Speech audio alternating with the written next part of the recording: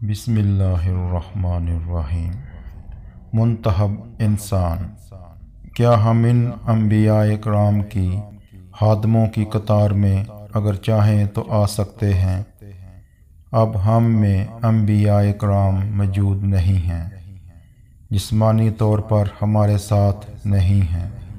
हज़रत आदम सलाम से लेकर हज़रत मोहम्मद सल्लल्लाहु अलैहि वसल्लम तक कोई नबी हमारे पास जिस्मानी तौर पर यहाँ मौजूद नहीं हैं।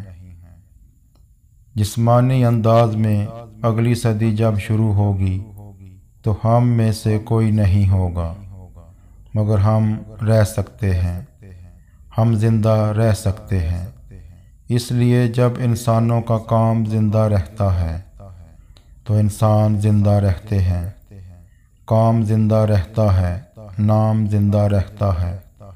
जब तक काम ज़िंदा है, इंसान ज़िंदा है। तमाम अम्बिया कराम ज़िंदा हैं, क़यामत तक। इसलिए कि उनका काम ज़िंदा है।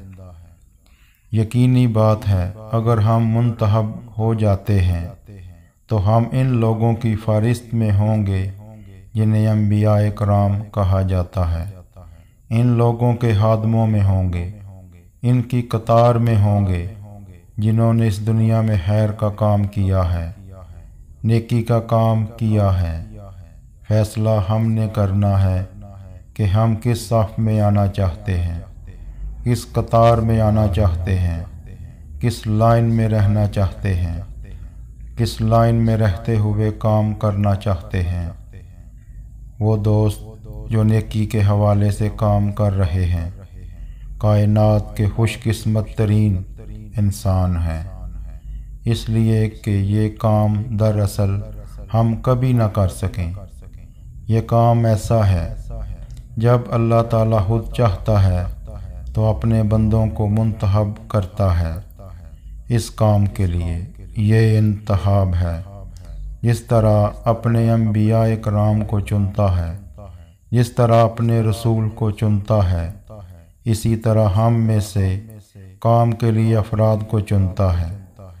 अब ये है कि हम कदम को आगे बढ़ाएँ और मेहनत करें। तहरीर, पीरजादा मोहम्मद शजात रसूल, आवाज़ मियामिर महमूद।